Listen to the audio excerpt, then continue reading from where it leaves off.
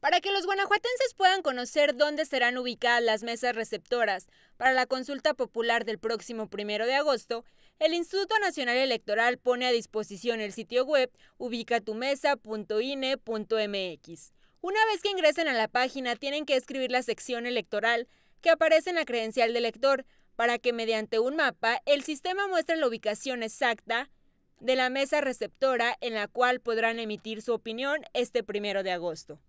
De igual manera, también se puede revisar la ubicación de las mesas receptoras a través de las redes sociales del instituto en Facebook y en Twitter. Lo encuentran como INE Guanajuato o bien mediante el número telefónico 800-433-2000.